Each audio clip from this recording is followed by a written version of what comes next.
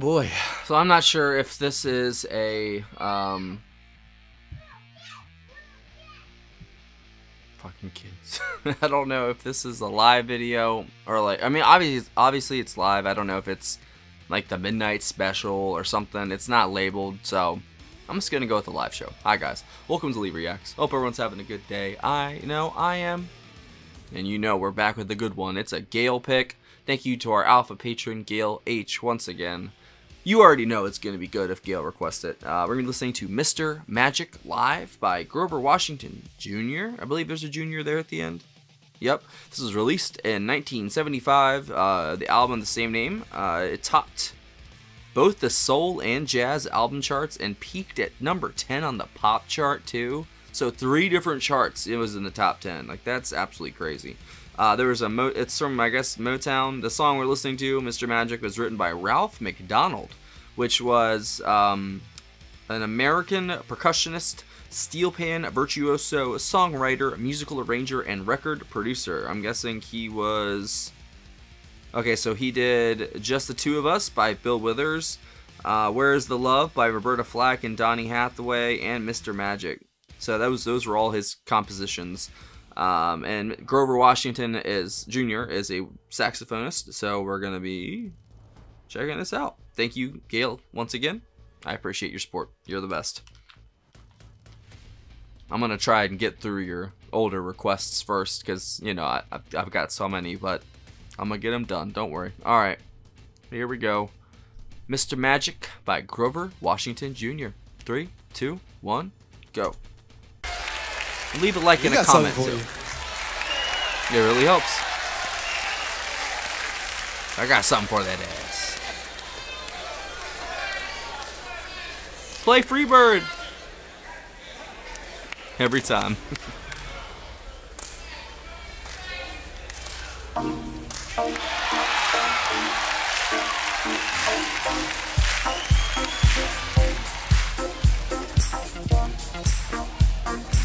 That's right, you gotta do it. Well, you gotta clap your hands.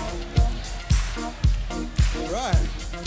This is the Philly I know. That's. Harvey Mason on the drums, I think. Let me make sure. No, that is not Harvey Mason on the drums. Scratch that. I don't know who that is. Or maybe it is. I don't know. I'm not gonna lie, he looked white at first, and then it's like, wait, never, never mind.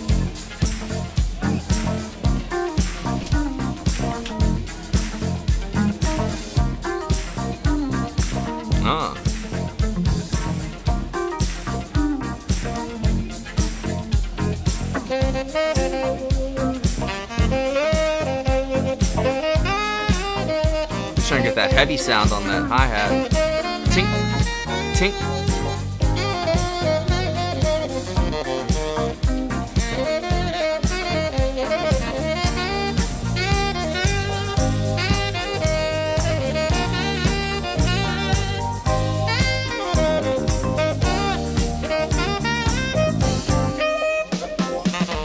Oh man, that is some feel good music. That riff is good too. Who's that? That's that Eric Gale on guitar. Yeah.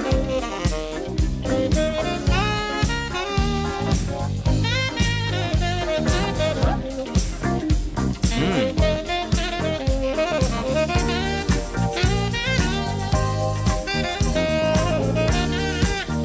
They had the tambourine synced up with that like second hi-hat hit. That sounded really cool.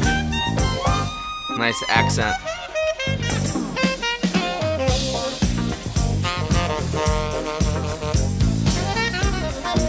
Uh. With them thick sticks. Tap, tap, tap. Look at that big freaking guitar.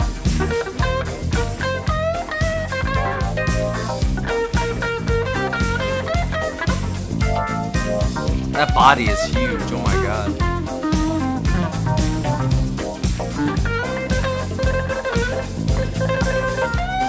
Holy shit. I got the shaker and the tambourine, my man.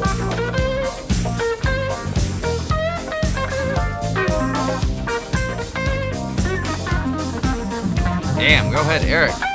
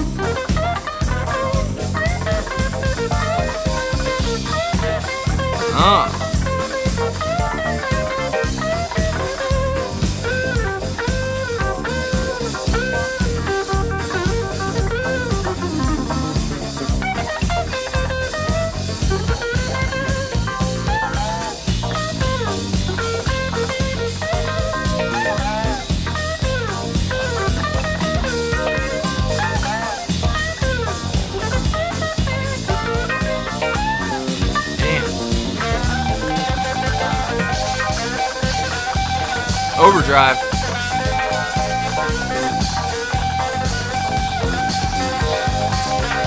Yeah. Holy shit.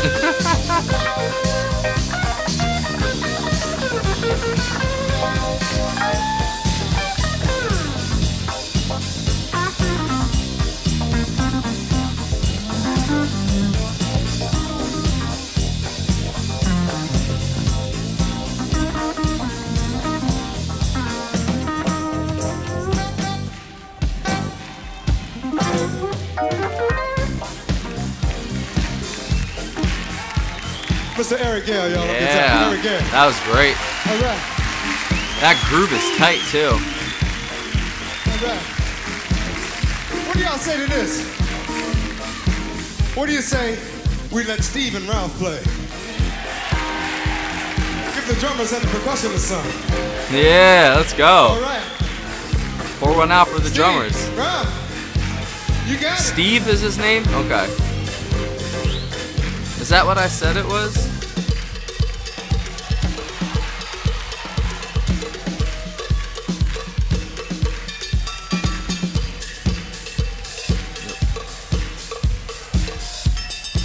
Ah. Yes.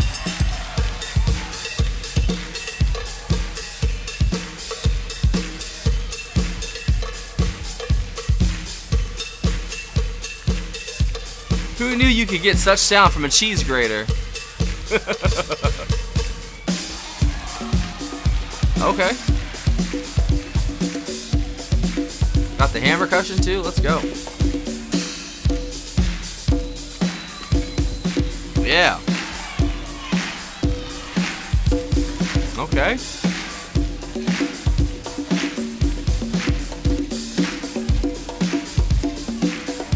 Yeah.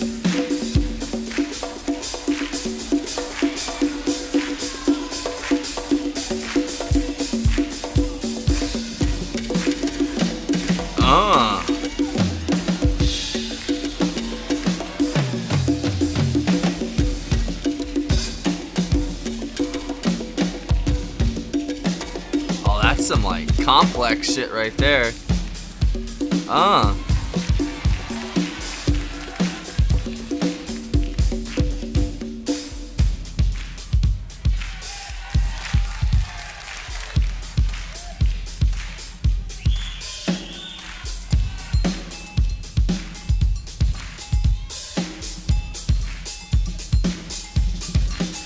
I got a phone call. I'm gonna let him listen. Here, this is some good stuff.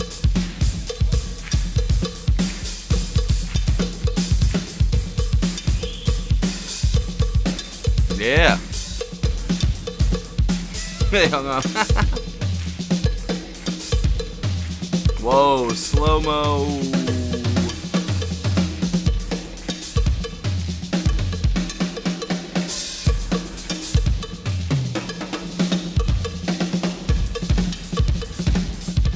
mo. Uh.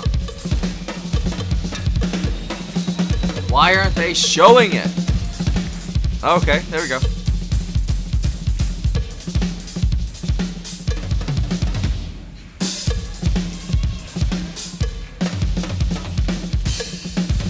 Is he like classically trained? Like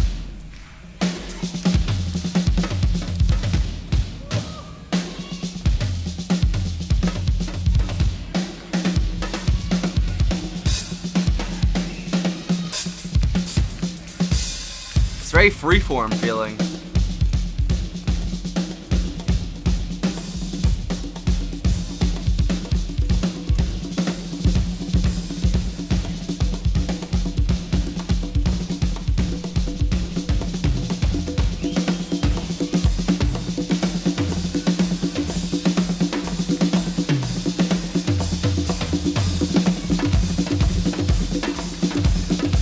Ah.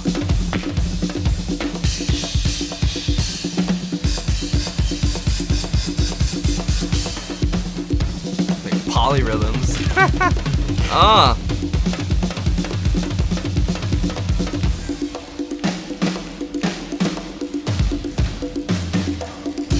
Right back in. Let's go.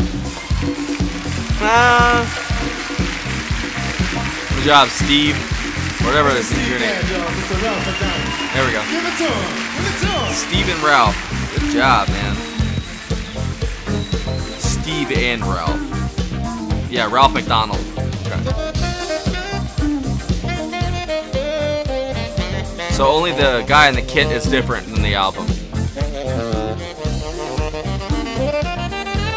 I've been waiting for him to fucking go off. Let's go.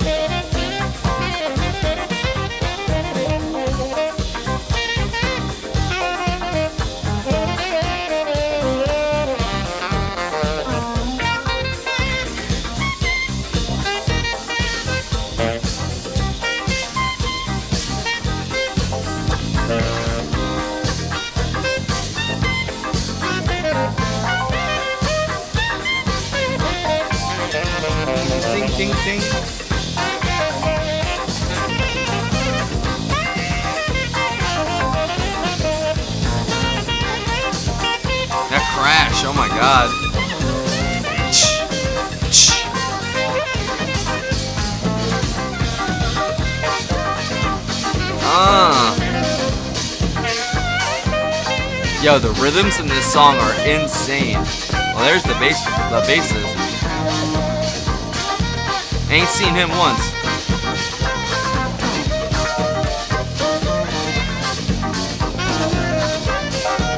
Is that the keys player? Yeah. There's a lot of people on stage.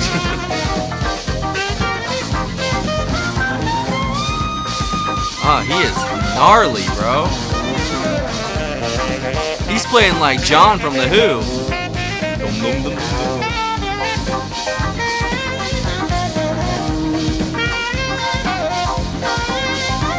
That bass is funky.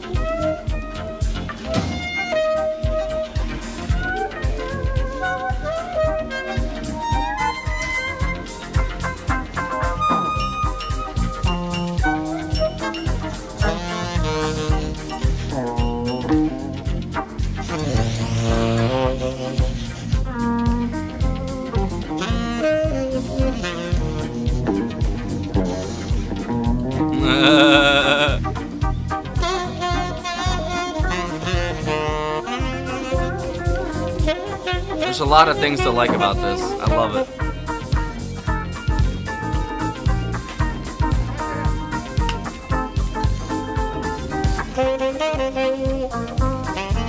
Don't mind if I do.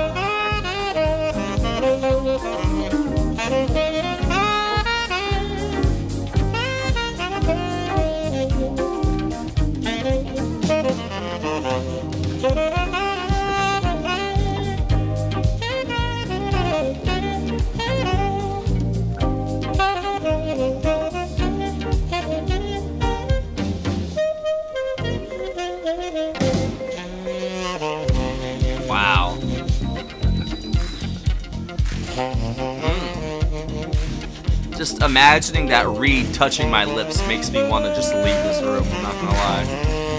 Ugh.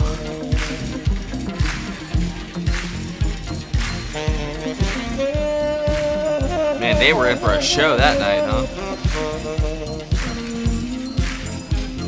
And that was live.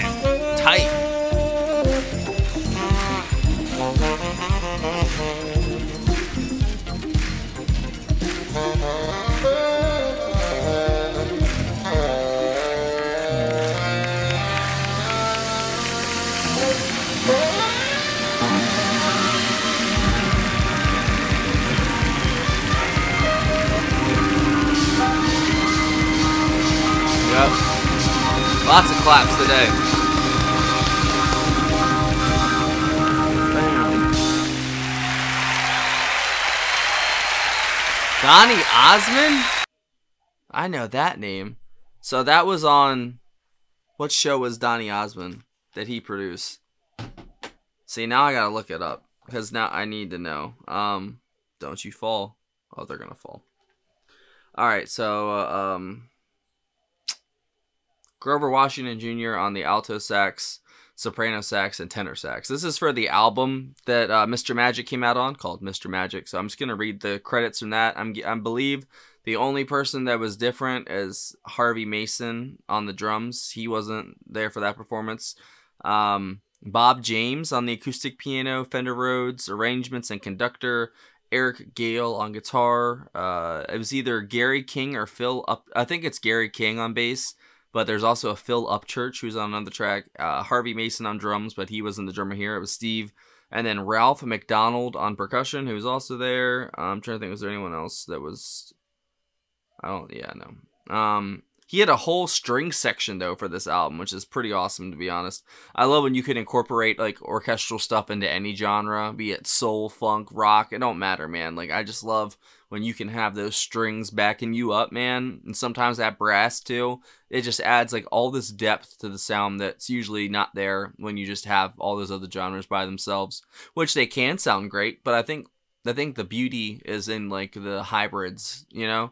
It's always great to have a pure strain. Like I'm talking about weed or something. It's always great to have a pure strain, but it's those hybrids, you know, of you know that cross pollinating of genres that just um it hits the sweet spot, you know. And this kind of like checked a lot of boxes. It was kind of jazzy at points, definitely soul, some funk, um, and a little bit of rock actually thrown in there for good measure. Uh, but that that drummer Steve, uh, he would. I don't know if he was like classically trained or he like trained himself. Like he just like learned himself, man. I, I don't know, but he had a very unique style and how he played. Um, but man, he was very heavy on that like second hi hat hit that was being accented by the tambourine hit at the same time. You know, by the other percussionist. I think his name. What was his name again? Oh God, I'm so bad with names. Ralph MacDonald.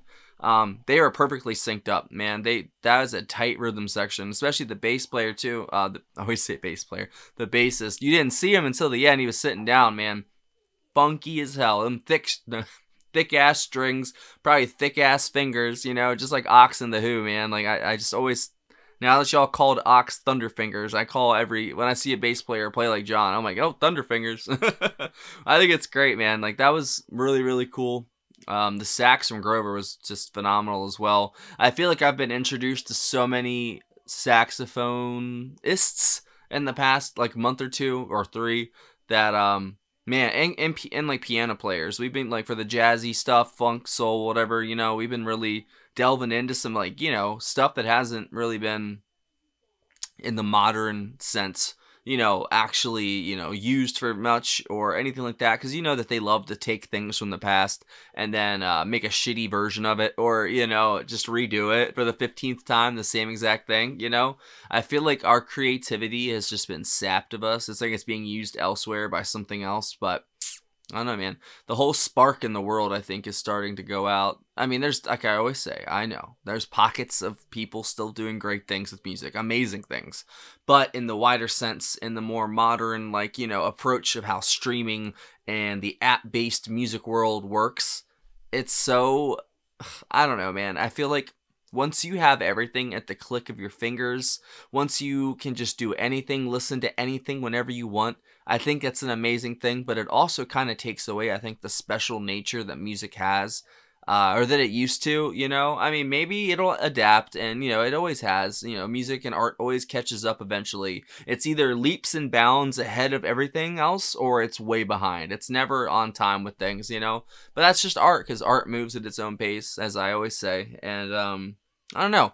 I liked, uh, just this kind of like hybrid, I would say, of things. Um, my favorite thing in it, though, Eric on the guitars, man. He was ripping it in his solo section. I mean, goodness gracious. Relax, Eric. It's okay.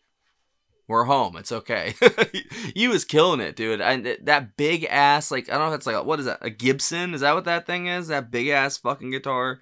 Uh, I got two more. Um, that was, uh, I'm gonna see if it'll tell me. Hold on. What does he play? Uh, is that thing, I've seen it in other stuff. Um, he's American jazz, jazz fusion guitarist. Does it say what he plays? bibliography. No, it doesn't. Um, whatever. I think that big ass thing is um a Gibson. I or I don't think it's Les Paul. That's I don't know. Um, I'm not well versed in like a lot of like old guitar knowledge, even modern guitar stuff. I really don't pay attention to gear as much like for that kind of stuff.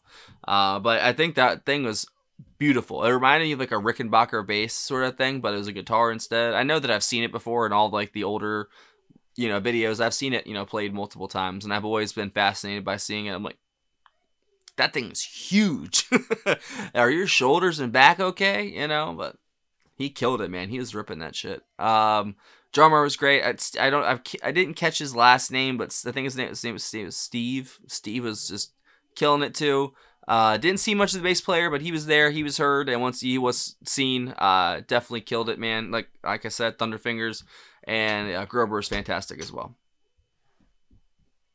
So she opened the door when I wasn't looking, and then she just tried to close it. Silly girl. Um, but yeah, thank you, Gail. That was great. I'm definitely down for any other stuff from Grover Washington Jr. Any of these guys, let me know down below if you got any other tracks. Uh, definitely will check it out. Thanks for watching. Patreon, right there. There's a link in the description. If you join the $15 tier or up, you get one free request a month. But just for this month only. In August, it's changing. Not by much, though. Don't worry. Um, I'm just gonna have to like change the meta of things because there's so many requests now. I'm gonna have to like put a cap on things. Like you know, I'm just like working on some ideas of like how to make things easier for all of us. You know, and myself included, but also you guys. Um, because this process that we have is um, it works usually very well if you guys do what you're supposed to do and I do what I'm supposed to do, but then we both don't do that sometimes, so things get lost in the shuffle. And uh, that's just how things work, though. And uh, I will always try to correct whatever mistake I make or anything like that. You guys know that. Um, I really value and respect all of my audience. Like I really do. You guys, you guys have no idea how bad some of the communities on this platform are, and you guys are probably the one of the best ones I've ever seen. Like I'm not even tooting my own horn. I didn't do it. You know what I'm saying? You guys did this. I just I I just work here. You know what I'm saying? I know that I may whatever attract certain people because I talk about things that most people don't, you know, and uh, kind of just ramble on. Got a lot of stuff stored up here, you know, so it kind of it's interesting sometimes, you know. And then sometimes it's like, shut the fuck up, Lee. What are you talking about? I got one more, and um, yeah, that is it. Thanks for watching. Thanks, Gail. Patreon. Just kidding. Um, there's also a uh, PayPal and Cash App in the description if you want to leave a tip or request that way. Thanks for watching, guys. I'll see y'all later.